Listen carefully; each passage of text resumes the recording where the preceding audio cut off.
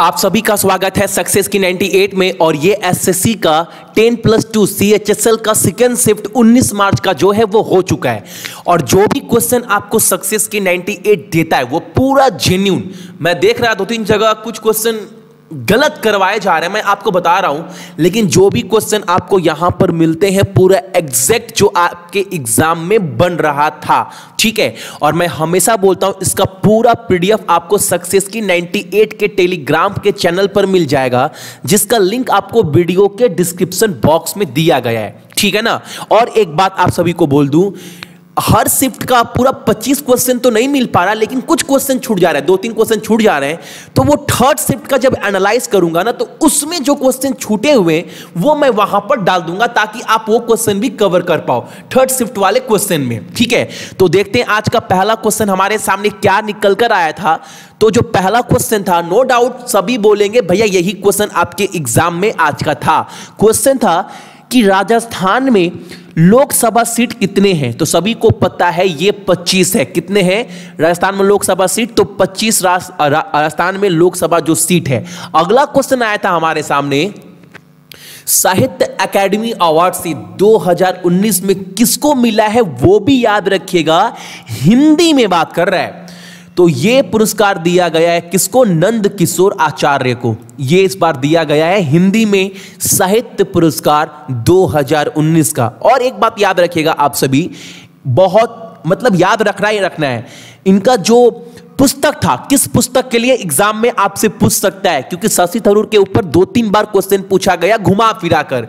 तो हो सकता है इनका जो पुस्तक था उसका नाम भी आप सभी याद रखिएगा। क्या नाम बोलेंगे? अगर एग्ज़ाम में आ गया तो आप सभी बोलेंगे, छिलते रंग अपनों के। ये जो पुस्तक है, इसके लिए इनको मिला था। ठीक है? तो याद रखिएगा, छिलते हुए अपने को होगा शायद। सॉरी यहाँ पर हिंदी में ट्रांसलेट गलती हुआ है। एक्चुअल में किताब का नाम क्या था? छिलते हुए अपनों को। ये आप याद रखिएगा। एक बार मेरे साथ आप रिपीट करो, छिलते हुए अपने किताब के लिए 2019 में साहित्य अकेडमी अवार्ड नंद किशोर आचार्य को दिया गया हिंदी के क्षेत्र में। ठीक है? अगला प्रश्न हमारे सामने है, श्रीलंका के राष्ट्रपति कौन है? एक्चुअल में 99 परसेंट चांस है कि आपसे राष्ट्रपति ही पूछा गया था। तो क्या होगा? गोटा पाया राजा पक्षा। लेकिन अगर प्रधानमंत्री अगर आपसे पूछा होगा, लेकिन एग्ज़ाम में तो क्वेश्चन ये श्योर था 110 परसेंट श्रीलंका के राष्ट्रपति और प्राइम मिनिस्टर के ऊपर। और मैं ये भी बोल दे रहा हूँ, श्रीलंका के राष्ट्रपति के ऊपर क्वेश्चन पूछा था तो क्या होगा? गोटाबाया राजा पक्षा। और अगर पूछ देता आप सभी से, वहाँ के प्रधानमंत्री तो आप सभी बोल दे, महिंदा राजा पक्षा। और अभी वहाँ का विधानसभा जो है, वो भंग कर दिया गया 25 अप्रैल से फिर चुनाव है श्रीलंका में। अगला प्रश्न हमारे सामने पूछा गया, विवेकानंद रॉक मेमोरियल, ये कहाँ पर स्थित है? तो कन्याकुमारी में, जो आपका तमिलनाडु में पड़ता है। विवेकानंद मेमोरियल कहाँ पर है? कन्याकुमारी, तमिलनाडु में। अगला प्रश्न हमारे सामने है ब्रह्मपुत्र नदी का नाम क्या है तिब्बत में? बहुत जन बोल रहे हैं, चाइना में पूछा गया था, लेकिन जो एग्ज़ाम में आज का क्वेश्चन था, वो था ना कि चाइना एग्ज़ाम में क्वेश्चन था, तिब्बत। याद रखिएगा, आज के एग्ज़ाम में जो क्वेश्चन था वो यह था, ब्रह्मपुत्र नदी का नाम क्या है तिब्बत में? अब देखो, बाकी चैनल वाले बोल रहे हैं, चाइना चाइना चाइना। अब दस लोग आकर बोलेंगे, भैया, चाइना ही पूछा था, लेकिन जो एग्ज़ाम दिए हैं, उन्हें पता है, एग्ज़ाम में तिब्बत था। जो एग्जैक्ट क्वेश्चन है, मैं वही आप सभी को करवा रहा हूँ, ठीक है? तो सभी को पता है। अगला प्रश्न हमारे सामने पूछा गया है पद्म भूषण पद्म विभूषण अवार्ड कितने लोगों को दिया गया है? तो चार लोगों को दिया गया है। एक बात यहाँ पर और आप सभी के साथ डिस्कस कर दो ताकि आपका डाउट जो है वो क्लैरिफाई हो जाए। यहाँ पर याद रखिएगा 2019 में जो है वो चार लोगों को दिया गया है। लेकिन कुछ लोग बोल रहे हैं, भैया 2020 पूछा था।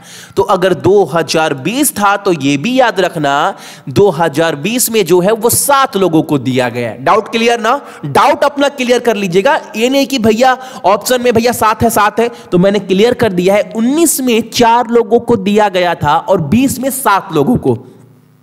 अगला क्वेश्चन आसान क्वेश्चन भारत की तेरहवें राष्ट्रपति कौन है? तो आप सभी को पता है, चौदवा आप सभी के गोविंद साहब जी है तो तेरहवे कौन होंगे? इसके पहले प्रणम दा, ठीक है, प्रणब मुखर्जी।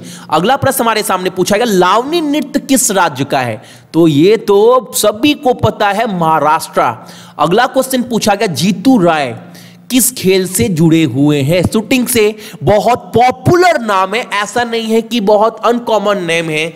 शूटिंग जगत में इतना बड़ा नाम है मेंस कैटेगरी में कि सभी को पता है जीतू राय जो है वो शूटिंग से जुड़े हुए हैं। अगला क्वेश्चन पूछा गया दूधा सागर फॉल जो है वो किस राज्य में? तो ये गोवा में है। और किस नदी पर? तो मांडवी नदी पर। इस नदी का नाम भी आप सभी याद रखना। अगला प्रश्न हमारे सामने, लिपू लेक पास, ये किस राज्य में है? एक क्वेश्चन आपके एग्ज़ाम में ये भी बना था सेकेंड शिफ्ट 19 मार्च का। और ये कहाँ पर है? ये उत्तराखंड में है। रोवर्स कप की शुरुआत कब हुई थी? अठारह में। और ये किस एग्ज़ाम में कुछ लोग बोल रहे हैं कि, लेकिन था यही कि कब शुरुआत हुई थी। अगर एग्ज़ाम में होगा, किस खेल से जुड़ा हुआ है? तो आप सभी बोल दीजिएगा फुटबॉल तो जो भी क्वेश्चन पर डाउट है, वो क्वेश्चन का डाउट भी मैं जो है, वो क्लियर करवा रहा हूँ आप सभी को हर एक क्वेश्चन में। अगला प्रश्न हमारे सामने जीएसटी के अंतर्गत आता है। जीएसटी जो है, वो किन संशोधन के अंतर्गत आता है? अंडर विच अमेंडमेंट बिल तो 101 अगला प्रश्न हमारे सामने नबार्ड की स्थापना कब हुई थी? अभी कुछ दिन पहले मैं कितना बार अपने साढ़े ग्यारह बजे वाले करेंट अफेयर क्लास में कितना बार बोल चुका हूँ, कितना बार? तो आप सभी क्या बोलेंगे? 12 जुलाई 1982 को। नबार्ड के चेयरपर्सन कौन है? हर्ष कुमार बनवाला, हेडक्वार्टर तो आपका मुंबई। अगला प्रश्न हमारे सामने है, ये तो बच्चों बच्चों को पता है, जो एसएससी की तैयारी नहीं करते, वो भी आंसर देकर आ जाएँगे। क्रिकेट वर्ल्ड कप 2019 में रनर अप कौन था? तो आप सभी को पता है, न्यूजीलैंड वही टीम जो भारत को सेमीफाइनल में हराई थी। तो एक क्वेश्चन तो आपका कल ये बन गया था कि इंडिया को सेमीफाइनल में किसने हराया था? तो कल का भी आंसर न्यूजीलैंड था। लेकिन आज आपका पूछ दिया कि वर्ल्ड कप में रनर अप टीम कौन थी? तो न्यूजीलैंड किससे हारी थी? तो इंग्लैंड से। आप सभी को पता है, सुपर ओवर हुआ, वो भी मैच ड्रॉ हो गया। उसके बाद बाउंड्री के ऊपर जो है वो रिज़ल्ट जो है वो डिक्लेयर किया गया। तो इंग्लैंड को जो है वो विजेता घोषित किया गया था अंडर क्रिकेट वर्ल्ड कप 2019 का। रनर अप टीम आपसे आज पूछा था तो वो क्या होगा? आपका न्यूजीलैंड। अगला प्रश्न हमारे सामने, यहाँ पर बहुत जन बोल रहे sun temple Konark temple. Konark temple आपके एग्ज़ाम में नहीं था। बहुत जगह आप पढ़ रहे होंगे, सन टेंपल सन टेंपल ये नहीं था। एग्ज़ाम में क्वेश्चन था, आपका सोर टेंपल ये कहाँ पर स्थित है? तो ये आपका तमिलनाडु में है। ये क्वेश्चन आपके एग्ज़ाम में था, आज के सेकेंड शिफ्ट में, याद रखिएगा।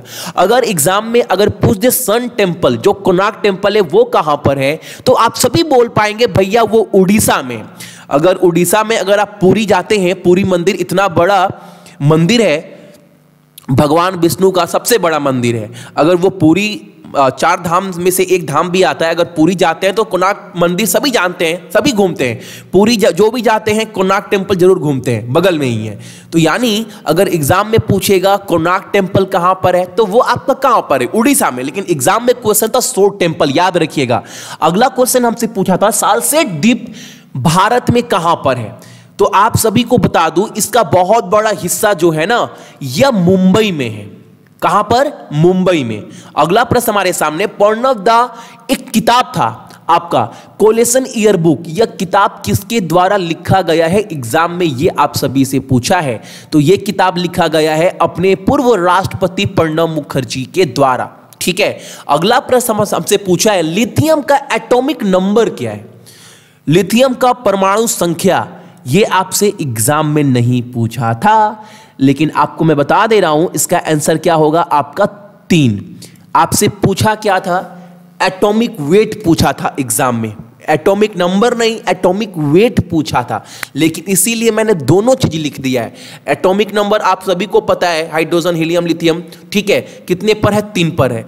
लेकिन अगर एटॉमिक नंबर एटॉमिक वेट पूछा था तो क्या होगा? Six point nine four one U ये आपका सही आंसर आपके एग्ज़ाम में था।